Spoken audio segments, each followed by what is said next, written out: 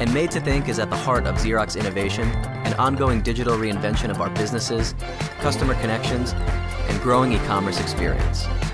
It's how we are helping transform industries from physical to digital to drive more efficient ways of working and better outcomes. Made to Think inspires us to create technologies that are made to think for you. Platforms that personalize and humanize. Software that turns work into less work. And AI that converts data into sense. And lets us think forward with packaging that talks to you. Technologies that see. And printing that turns crazy ideas into business realities freeing us all to think in new, exciting ways. Because Made to Think means we're not just thinking about the future, we're making it.